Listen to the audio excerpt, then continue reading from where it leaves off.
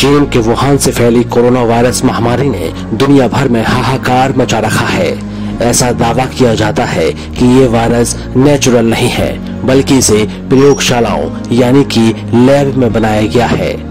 विज्ञान संबंधी मामलों पर लिखने वाले ब्रिटेन के मशहूर लेखक और संपादक निकोलस वेट ने भी ये आशंका ज़ाहिर की है। निकोलस वेट ने कहा है कि चीन के वुहान इंस्टीट्यूट ऑफ़ वायरोलॉजी के रिसर्चर्स कोरोना वायरस से मानव कोशिकाओं और चूहों को संक्रमित करने के लिए प्रयोग कर रहे थे। कोरोना की उत्पत्ति पर भी निकोलस वेट ने सवाल उठाए थे। निकोलस ने बताया है कि इसी प्रकार के प्रयोग के कारण कोविड 19 जैसे वायरस के पैदा होने की आशंका है।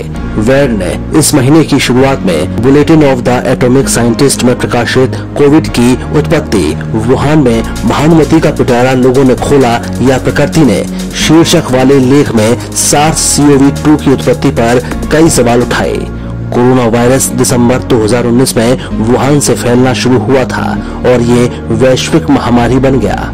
वेड ने कहा कि सबूत इस आशंका को पुख्ता करते हैं कि ये वायरस एक प्रयोगशाला में पैदा किया गया जहाँ से वो फैल गया, लेकिन इसकी पुष्टि के लिए पर्याप्त सबूत मौजूद नहीं है।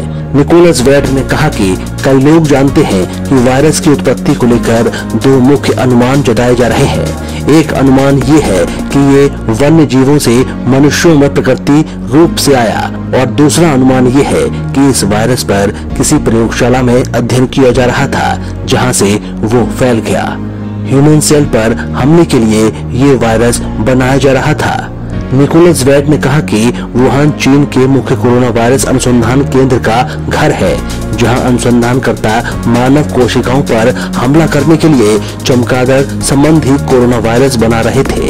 उन्होंने कहा कि वे न्यूनतम सुरक्षा प्रबंधों के बीच ऐसा कर रहे थे, और यदि सार्स टू का संक्रमण वहाँ से अप्रत्याशित रूप से फैला तो ये कोई आश्चर्य की बात नहीं है।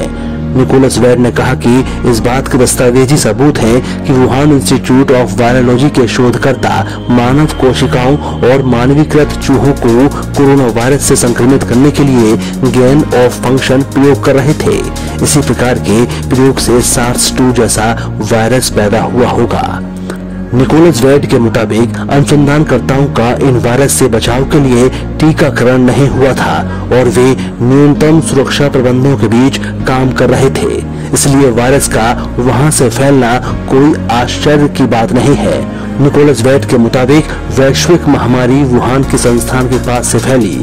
अमेरिका के पूर्व राष्ट्रपति डोनाल्ड ट्रंप समेत कई लोग भी ये आशंका जता चुके हैं कि वायरस चीन की किसी प्रयोगशाला से ही फैला है।